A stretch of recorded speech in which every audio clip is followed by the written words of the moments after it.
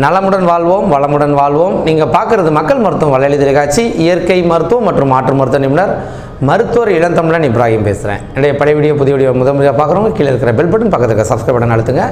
இப்போ நம்ம பார்க்குற விஷயம் என்னென்னு பார்த்தீங்கன்னா பெண்கள் தொடர்பான ஒரு விஷயம்.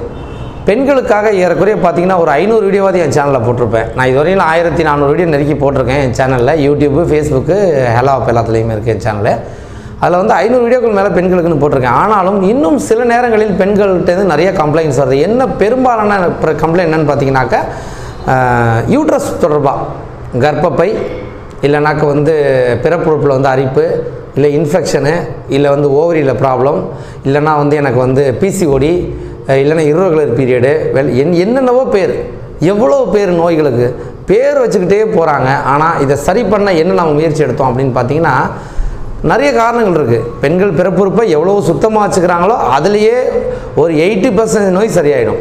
எவ்வளோ சுத்தமாக வச்சுக்கிறாங்களோ. அடுத்தது அந்த டுவெண்ட்டி பர்சன்டேஜ் என்னன்னு பார்த்தீங்கன்னாக்க எடுத்துக்கிற உணவுகள். உடு எடுத்துக்கிற உணவுகள் பார்த்திங்கனாலே நீங்கள் சரியான உணவுகள் எடுத்துக்கிட்டு அந்த யூட்ரஸுக்குன்னு சில உணவுகள் அந்த மாதிரி. அப்போ வந்து பிறப்புறுப்பு ஏன் வந்து மற்ற உறுப்புகள் மாதிரி உணவை டிபெண்ட் பண்ணி இல்லை மெயினாக வந்து இந்த மாதிரி சுத்தமாக வச்சுக்கிறது காரணம் அதிகமான கழிவுகள் படுற பகுதி இல்லையா?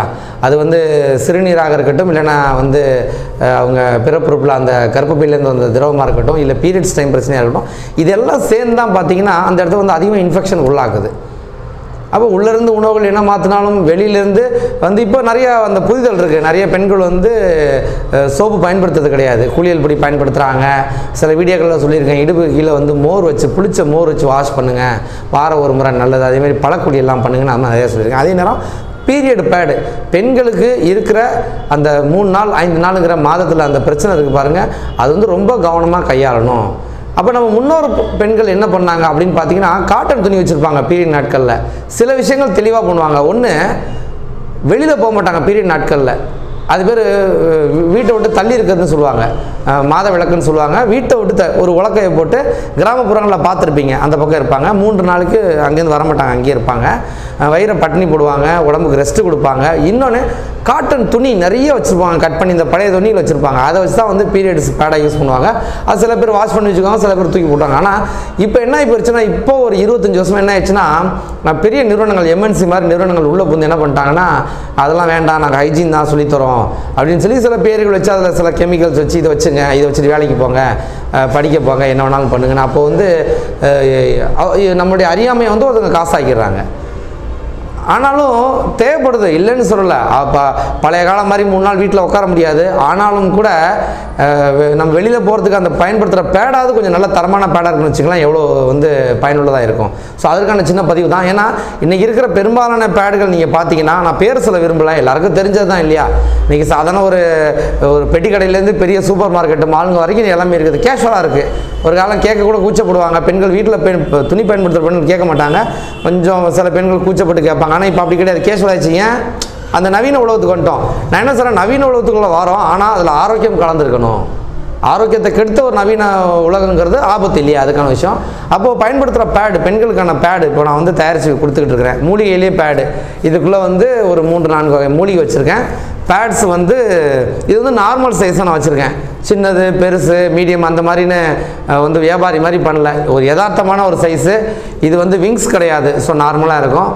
வந்து ஒரு- சைடு வந்து கம் இருக்கும். ஸோ அந்த பேப்பரை பிச்சுட்டு அந்த கம்மை வந்து பேண்டிஸில் ஒட்டிக்கலாம். ஸோ எட்டு பேடு எட்டு எட்டாக தான் நான் பேக் பண்ணியிருக்கிறேன். சுத்தமான காட்டன் துணி. இது வந்து ரீயூசபிள் கிடையாது. சில பேர் என்ன கேட்குறாங்க சார் ரீயூஸ் பண்ணிக்கலாமா? வேண்டாம். ஏன்னா வெறும் கிளாத்தாக இருந்தால் துவச்சி போட்டு அந்த காலத்தில் பெண்கள் யூஸ் பண்ணுவாங்கன்னு சொன்னேன் இல்லையா? இது வந்து அப்படி கிடையாது. இது வந்து உள்ளே நம்ம இப்போ பஞ்செலாம் வச்சுருக்குறோம் இல்லைங்களா? அப்போ வந்து நம்ம தேவையில்லாமல் அதை வாஷ் பண்ணி அதை ரிஸ்க் எடுக்க வேண்டாம். யூஸ் பண்ணிட்டு தூக்கி போடலாம். என்னன்னா முதல்ல கொஞ்சம் கொஞ்சமாக மாறுவோம். கொஞ்சம் கொஞ்சமாக மாறுவோம். அதுக்கப்புறம் யூஸபிள் மாதிரி கூட பழைய ஸ்டைல் கூட போகலாம். அப்போது இப்போ யார் யாருக்கு சார் செட் ஆகும்? ஒரு குறிப்பிட்ட வயசு இருக்கா? இல்லை குடு உடம்பு சைஸ் அப்படிலாம் கிடையாது. எல்லாருமே பயன்படுத்தலாம். ஒரு பள்ளி வயசுக்கு வந்த பெண்ணிலிருந்து முதியவங்க வரைக்கும் பயன்படுத்தலாம். ஆனால் என்னென்னா ரொம்ப ஹைட்டு ரொம்ப உடம்புலாம் இருக்கும் அவங்களுக்கு தான் வந்து அதுக்கு அடுத்த சைஸ் இதுக்கு அடுத்த சைஸு ஸோ ஆனால் அது என்கிட்ட ஸ்டாக் இல்லை. நான் தயாரிக்கிறது இல்லை. ரொம்ப குறைவானா பெரும்பாலான பெண்களுக்குன்னு பார்க்கும்போது இது வந்து பள்ளி கல்லூரி மாணவிகள்லேருந்து இல்லத்தரசிகள் எல்லாருக்குமே செட் ஆகுது. மு- முதல் முறை பயன்படுத்துகிறவங்களுக்கு சில சின்ன சின்ன ஒரு ஒரு அன்கம்ஃபர்டபுளாக ஃபீல் பண்ணுவாங்க. சில பேர் சொல்லுவாங்க இல்லையா? புது பழக்கம் இல்லையா? ஆனாலும் பழகிக்கணும். யதார்த்த வாழ்க்கைக்குள்ளே வரணுங்கும் போது கொஞ்சம் நம்ம அட்ஜஸ்ட் பண்ணிக்கிட்டு நம்ம பழகிட்டோம்னா ஒரு முறை ரெண்டு முறை யூஸ் பண்ணி பார்த்தா கண்டிப்பாக இருக்கும். ஏன் வந்து சார் மூலிகை பேடு தான்? ஏன்ட்டு தான் வாங்குன்னு சொல்லலை? நான் முன்னாடி ஒரு வாரம் சொல்லிடுறேன் ஏன்ட்டு தான் இல்லை? எவ்வளோ மகளிர் குழுலாம் தயாரிக்கிறாங்கன்னு சொல்கிறாங்க தரமாக இருந்தால் வாங்கி பயன்படுத்துங்க. ஏன் இந்த பேடு பயன்படுத்தணும் அப்படின்னு பார்த்தீங்கன்னா நம்ம கர்ப்பப்பையிலேருந்து அந்த யூட்ரஸ் வந்து பீரியட் காலங்கள்லையோ பீரியட்ஸ் இல்லாத நாட்கள்லையோ அந்த யூட்ரஸ் வழியாக பிறப்புறுப்பின் வழியாக உஷ்ணங்கள் வெளியில் போகும் பேக்டீரியாஸ் இல்லை உள்ளே போயிட்டுருக்கும். ஸோ அதுவும் இந்த மாதிரி இந்த பீரியட்ஸ் டைமில் பார்த்தீங்கன்னா நிறைய அந்த ரத்தம் வந்துக்கிட்டு இருக்கிறதுனால இன்ஃபெக்ஷன் அதிகமாக இருக்கும். அப்போது எவ்வளவு வந்து மட்டமான இல்லை தரம் இல்லாத கெமிக்கல்ஸ் உள்ள பேட்ஸுங்களை பயன்படுத்தும் போது அது அந்த கெமிக்கலே பார்த்தீங்கன்னா யூட்ரஸ்குள்ளார பேக்டீரியா இன்ஃபெக்ஷன்லாம் அமுச்சு விட்ரும் ஆனால் இது அப்படி கிடையாது. இது வந்து இயற்கையானதுனால கண்டிப்பாக அந்த பீரியட்ஸுக்கான அந்த கழிவை எடுக்கிற வேலையை மட்டும் பார்க்கவே ஒழிய எந்த காரணம் கொண்டு வெளியிலேருந்து உள்ளே போகிற எந்த இன்ஃபெக்ஷன் வேலையும் பண்ண விடாது. ஸோ அதுக்கான ஒரு நல்ல ப்ராடக்ட் தான் இது.